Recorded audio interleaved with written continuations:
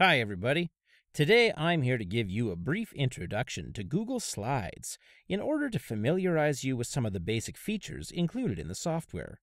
So here's a presentation that I've already started. You can start a new presentation from your drive by clicking on New and choosing Slides. You can see that I've already got some text in these slides, so let's take a look at how to add transitions and animations to our slides. To get started, click on the transition button that's up here on the toolbar next to theme.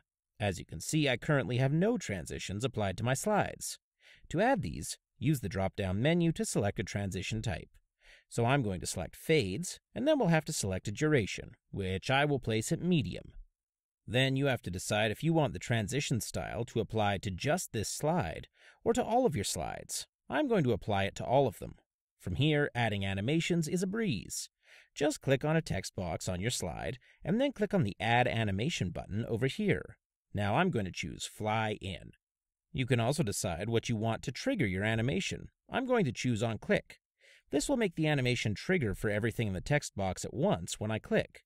However, to make this happen for each paragraph in the text box, just check off By Paragraph. You have to choose a duration again, which I will also set to medium. Now let's see what this looks like by hitting play. I'm going to start the animation, then click once, then again, and one more time to complete the process. That looks good to me, so next let's go see what it might look like if we have multiple text boxes in the slide. It's a very similar slide, but instead of having all of the text inside a single text box, I've placed the lines each in their own separate text box. So I'll select the first one and then click on Add Animation. This time I want it to zoom out, but I'll leave everything else like I did before. For the next text box, I'm going to add a spin, and then for the final one, I think I'll add a fade in. Let's see what this looks like. As you can see, as I click through the presentation, we get each of the separate animation effects that we set up, one at a time as we continue to click. Now let's go to our next slide. Here you can see I've started a rough flowchart that I'd like to add to using shapes.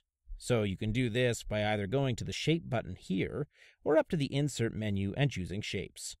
So I want to add a second arrow, so I'm going to select that and add it in. Adding animations to your shapes is the exact same process, so I'm going to skip ahead to where I've already done that, just to show you what it looks like. As you can see, as I click, my animations trigger on each shape. Now let's add a slide. You do this by clicking on this plus button, or you can click on the arrow beside it and choose the specific layout of the slide.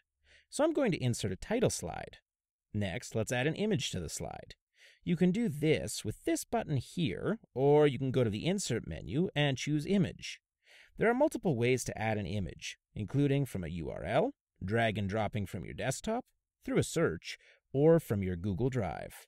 I'm going to use an image out of my drive here, so I'm just going to select the image and then insert it. I'm then going to resize it, and now I'm happy with it. Next, let's create another new page. Now let's add a video to this page.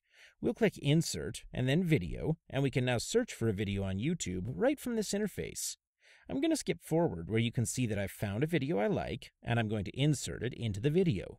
When we actually play the presentation, a play button will appear for the video. Next, let's add another page, and to this one I want to add a table. So let's select Insert and choose Table. You have to select the size of table that you want. So I'm going to insert a 4x2 table, and then fast forward to where I've got some text inserted in the table. Now that that's done, let's head back up to some of those original slides we were working on. A really great feature in slides is the ability to link text to other slides within your presentation. So I'm going to choose some text here and then choose to insert a link. You'll notice that we have some options as to where we want to link to, and I'm going to choose to link to this specific slide. This is a great feature to include in presentations where you might be working with other people, because they can just click on an internal link in the presentation and skip right to a given slide. Since we're talking about collaboration, another great tool in slides is the amount of collaborative tools you have within the program. So I'm going to click on the share link up here. You can see that right now the presentation is private, and I'm the only one who can view it. So I'm going to invite a coworker to the document and give them access to edit it. Now that I've shared it, I can tell when my coworker is working on the document because I will see their icon appear at the top of the screen here. In addition, if I want to chat with my collaborator, all I have to do is click on this chat icon and a real time chat window will appear.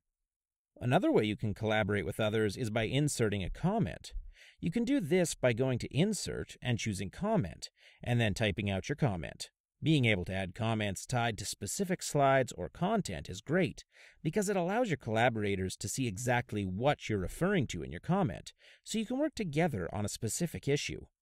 I also know that when I'm working on a presentation, I like to add notes in the notes section. You can see that I have a note here, but when I want to present this, there's a way that I can get the notes while I'm actually giving my presentation. When you go to present, click on the drop down menu and choose Present with Speaker Notes. In this view, you can see your speaker notes, the slide you're currently on, and the next one. You can also see how long you've been on a particular slide. So this is just a general overview of the basic features within Google Slides. If you have any questions, feel free to leave them in the comments section below. Thanks for watching, and have a great day.